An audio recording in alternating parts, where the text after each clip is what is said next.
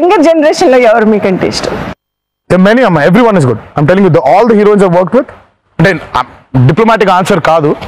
Everyone is good and the heroines who haven work with this heroine call Trisha who's she's a wonderful heroine Shreya I work with she's a wonderful heroine she's a wonderful dancer all my heroines and the heroines I haven work with చాలా మంది ఉన్నారు. అందరూ మంచి ఉన్నారు అందరూ బాగున్నారు. So first composing చేసినప్పుడు ఏమైనా నర్వస్ ఫీల్ అయ్యారా? ఏం లేదమ్మా. పదిహేను నిమిషాలు పాడేసాను ఆ పాటని.